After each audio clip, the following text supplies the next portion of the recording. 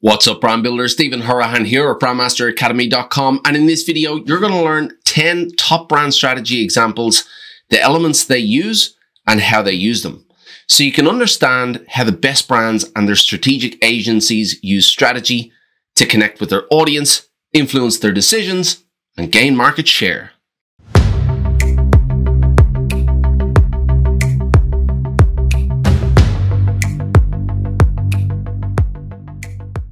Now, if you're new to the channel and you want to build brands that go beyond the visuals using strategy, psychology, and creative thinking, then you're in the right place. Hit that subscribe button and the notification bell. If you want to fast track your results, make sure you grab the Pro Brand Strategy Blueprint. It's a free download and the link is in the description. Now, when it comes to learning brand strategy, one of the best and most effective ways to learn is to look at the best.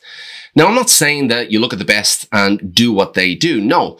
But when you look at the best and understand what they're doing, why they're doing it, and the elements they're using to do it, you can then take inspiration for how you might develop your own strategy or your clients. But let's start first at the beginning with what brand strategy is before we dive deeper into brand strategy examples. Now, look, you've probably heard many brand strategy definitions before because there are no shortage of them out there. And I recently spoke with well renowned branding author and master strategist, Mr. Marty Neumeier, on the Brandmaster podcast. And I asked him what his definition of brand strategy was, and here's what he had to say. Brand strategy is a long-term plan to outmaneuver competitors through radical differentiation. Now, to get into the weeds of brand strategy a little bit more, here's my brand strategy definition. Brand strategy is the definition of a brand's approach to who they target, how they differentiate, and how they influence perceptions and decisions. Now, when all is said and done, branding is about shaping the perceptions of a given business in the market as the more appealing option compared to its competitors. Now, although no two brands are the same, there are a series of key brand strategy elements that are most commonly used. Across the most successful brands and brand strategists in the world, these key components are used consistently as the critical aspects of the overall brand strategies. We've got purpose, vision, mission, values, positioning, personality, voice and tone, brand story, heritage, and tagline. Now, each of these key brand strategy elements can spearhead a brand's overall strategy or work as part of a team of strategic components. Now, I'm about to break down each one of these essential brand strategy elements and provide you with the best examples of each. The following sections will provide you with an understanding of how these elements work and inspiration to create a strategy of your own for your own brand or for your clients. So let's start at the top with brand purpose. Now, the first brand strategy example is TOMS Shoes with their brand purpose. Now, the brand purpose or the purpose of the brand is why the brand exists beyond money. Now, of course, every business exists to make money, though most brands do serve a purpose beyond money whether they define that purpose or not. Brands that take the time to define the reason for being tend to be more dialed in to the audience that they serve. Now, though many dismiss brand purpose as a legitimate strategy, the figures don't lie. In a strength of purpose study of 8,000 global consumers by New York based Zeno Group, the results were absolutely clear. Consumers are four to six times more likely to buy from, trust, champion, and defend companies with a strong purpose. Now, TOMS Shoes is an absolutely excellent example of a purpose driven brand that has used their purpose as their driving strategy using the following brand purpose statement. We believe in a future where all people have the chance to thrive. The TOMS brand was created when founder Blake Mycoskie traveled through Argentina in 2006 and he experienced the hardships faced by children without shoes. Now, his experience inspired him to create a brand with giving at its core. So for every pair of shoes the company sold, a new pair would be given to a child in need. Now, this was the purpose the TOMS brand was born from, which still drives the business today. And the brand is now investing one third of all profits into grassroots efforts. The 2021 Purpose Power Index ranks TOMS as number two of the top 20 most purposeful brands in the world. So brand purpose is a legitimate brand strategy example. Just like it has at TOMS, it can drive decisions, inspire employees, and attract dedicated, loyal customers who believe what the brand believes. Brands that want to make emotional connections need to look no further than a genuine and a passionate purpose shared with their audience. Brand strategy example number two is Tesla's brand vision. Now, the brand vision sets in place the navigational direction for the brand. It plants a flag in the ground as to where the brand wants to go, which ultimately influences decisions and actions to guide the brand to its intended destination. The brand vision, therefore, is defined as where the brand wants to go and what it aspires to be. Now, a brand vision is not a piece of marketing designed to attract customers, but an internal guidepost expressed in the brand vision statement. Brands that are actually in tune with the vision of the future brand can breathe a sense of believability throughout the brand's personnel that they're part of something bigger than themselves. Now, Tesla is a brand with a big vision inspired by 2021 Person of the Year, Mr. Elon Musk himself. Now, Tesla had become a world leading brand and a benchmark in the electric car market. But Tesla's ambitions, they go way beyond the automobile industry and into the realm of sustainability. The revamp of Tesla's brand vision statement, which is also used as their mission statement, is to accelerate the world's transition to sustainable energy. Now, Tesla don't use their vision statement as a nice to have or a piece of marketing. They use it to drive decisions and actions as the brand expands into the solar energy category. So when creating your vision statement, define what you want your future brand to look like and use that vision as a guiding compass to get there. Brand strategy example number three is Patagonia with their brand mission. Now, while the brand vision outlines the aspirations of the brand for the future, the brand mission defines the brand's commitments today. The goal of the brand mission is to define that commitment. So the brand mission is documented in a brand mission statement, which, like the vision statement, is an internal document. The mission provides clarity for the brand leaders and the personnel about the consistent commitments that it must deliver on to achieve that vision for the future. When a brand is clear on its commitment, it shows up in its actions and forms part of that brand's reputation. For example, Patagonia is a well-established lifestyle brand that produces outdoor camping and climbing apparel. Now, it was founded by climber and brand leader Yvon Chouinard in 1973, so the brand has very strong roots in protecting the environment. The Patagonia brand mission is outlined in the brand mission statement, and that is to build the best product, cause no unnecessary harm, and use business to inspire and implement solutions to the environmental crisis. Now, this mission has been the driver behind shaping Patagonia's business processes and marketing to align with their commitment over the long term. Today, many brands have jumped on the sustainability bandwagon without really having too much to show for it. Patagonia, on the other hand, is an example of how the brand mission can not only form an important part of the brand strategy, but it can be the driver behind that strategy's success. When defining your brand mission or your client's brand mission, make sure you dig deep and find a commitment that will really drive those decisions. Brand strategy example number four is IKEA with their brand values. Now, brand values outline what's important to the brand in the way they do business. The goal of brand values are to provide a boundary of behavior for the brand so it operates according to a certain philosophy of conduct. Brand values form an integral part of brand culture, which is the manner of how the brand functions internally. And brands that are happy on the inside tend to be happy on the outside. And this isn't just an assumption. Both on a revenue and a stock price performance, brands that consistently show up in the top 100 best companies to work for, they see higher than average results every time. Brand values play a critical role in aligning the brand internally so everybody is pushing in the same direction. But there is a caveat here. Values for the sake of values are absolutely useless. Brand values must be actionable and they must show how the brand engages both internally and externally, and they must guide those actions and those decisions. Now, IKEA is an example of a brand that is clear on their values and how to use those values as part of their broader strategy. And here's how they see it. We have a strong set of values.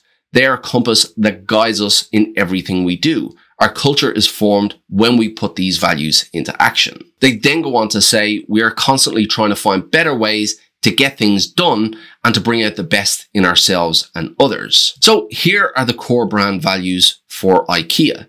Togetherness, caring for people and the planet, cause consciousness, simplicity, renew and improve, different with a meaning, give and take responsibly, lead by example. So as you can see, IKEA's values are unique to them they're clear and they're actionable and they can be used to guide decisions, to guide actions, communication and engagement as well. So when defining your core values for your own brand or for your clients, start with single words and make sure that they're important to you in the way that you do business or the way your client does business and then make them unique to that business and that brand and make them actionable as well. Brand strategy example number five is Apple with their brand positioning. Now, brand positioning is arguably the most important and most difficult aspect of brand strategy and the most difficult element of brand strategy to define and develop. The goal of brand positioning is to specify a unique point of difference or a differentiator that sets the brand apart from its competitors. Now, an effective brand position will earn the brand a distinctive place in the mind of the audience as to why they're more relevant than their competitors. And that's the idea anyway, that this brand is going to be more relevant than their competitors to this specific group or this specific market segment. Consumers are bombarded with choices every day in every category and brands must fight for that awareness. They must fight for that attention and that salience. The winners are remembered and they're chosen in the buying decision, and the positioning strategy plays a big role in influencing that decision. Now, without a shadow of a doubt, Apple is one of the best examples in the world of a strong brand positioning strategy. When you think of Apple, you think of simplicity and innovation. Now, there are hundreds of technology brands in the world, but none deliver that innovation and that simplistic brand experience quite like Apple does. And that focus on advancement and that simplistic brand experience has allowed Apple to establish the leading position with premium pricing that competitors simply can't compete with. Here's the Apple brand positioning statement. For individuals who want the best personal device, Apple is the technology leader that emphasizes research, advancement, and innovation to give our customers an innovative and seamless experience we consider the impact of our products and processes have on our customers and the planet. Now, of course, that doesn't exactly roll off the tongue, but the brand positioning statement is not designed as a piece of marketing, but an internal document to shape everything about the brand from the experience to marketing and everywhere in between. When defining your brand position, uncover what's important to your audience and how you'll give them what they want with an experience that's unique to your brand. Brand strategy example number six is Harley Davidson with their brand personality. Now, brand personality is one of the most potent but still underutilized elements of brand strategy. Now, the goal of the brand personality is to make your brand sound and feel like a real human rather than feeling like a corporate entity. And what a brand says is critical. Of course, what they say is critical, but the way they say it, that's becoming increasingly important and a really important aspect of the overall brand communication strategy. Now, as people, whether or not we connect with other people is largely due to whether or not our personalities align we tend to feel more connected to those who display the same characteristics and traits as we do because our reptilian brain signals that familiarity equals safety. Brands therefore need to show up with relevant human traits to get the approval from their customers' reptilian brain. Harley Davidson is a perfect example of a brand with personality. Throughout the brand experience, from the copy on their website to the image style to their marketing and their advertisements, Harley's communication is laced with personality. Harley's target audience are rebels at heart and they use that rebellious spirit throughout the experience, which includes a rugged brand identity, gritty language, a rough tone of voice, non-conformist attitude, and disruptive behavior. Harley loves to go against the grain of everyday society, and in doing so, they endear themselves to the inner rebel of their audience.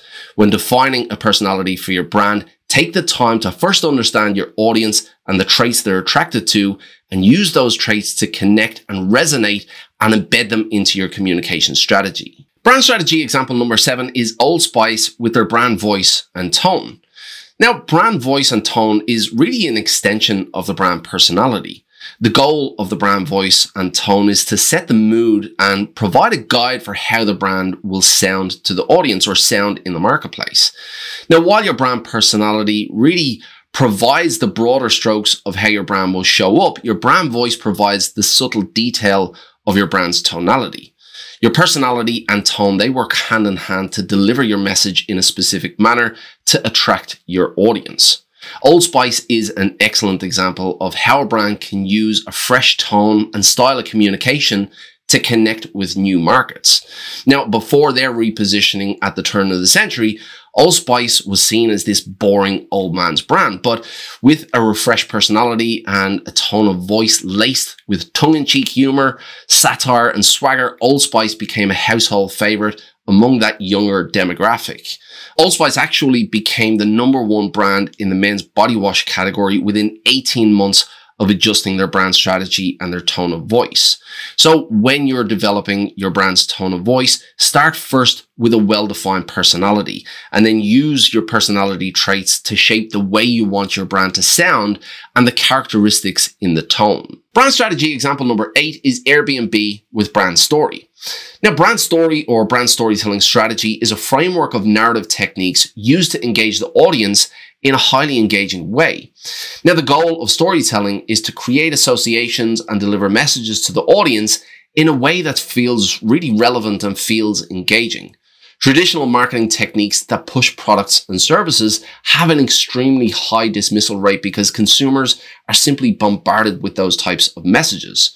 Stories, on the other hand, engage a primitive part of the brain that cuts through that barrier of analytical thinking. And when we hear a story, it draws our attention and it opens up a story loop that needs to be closed. In other words, when we hear a story, we instinctively need to know what happens next the more relevant the story is to the journey of the audience and the journey that they're on and the challenges that they have, the more clearly they'll see themselves in that story. Brands that are able to weave their message into a story about their audience plants a seed in that audience's mind that's received fondly and remembered easily. Now, Airbnb is an example of a brand that has brand storytelling down to an art. Airbnb's mission is to help us imagine a world where we can belong anywhere. Now, to forge this mission into reality, they focus their efforts on building a community and they've created a platform for that community to share their stories. From hosts to guests, Airbnb have fostered a community of storytellers and loyalists marketing the brand through their own positive experiences. When defining a brand storytelling framework for your brand, step into the shoes of your audience and immerse yourself in their journey. Tell the story of the journey of your audience and weave your brand in as the support to help them get to their destination. Brand strategy example number nine is Hermes with their brand heritage.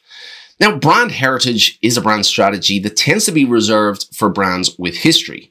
Now, the goal of brand heritage as a strategy is to create associations of tradition and longevity. And this inherently suggests that the brand has stood the test of time for a reason. And whether that brand is 30 years old or 130 years old, associations of times past can invoke this sense of nostalgia and place the brand in a unique place in the audience's mind. Now, one of the best examples of brand heritage is from Hermes, the French fashion brand. Now, Hermes was founded in 1837. Yes, 1837 by Thierry Hermes and it's the oldest fashion brand in the world. Now, the brand has a deep sense of history and tradition, partly because the brand still remains in the Hermes family, which has now spanned five generations. Hermes was trading long before branding became an important aspect of business, and they've stayed true to their roots.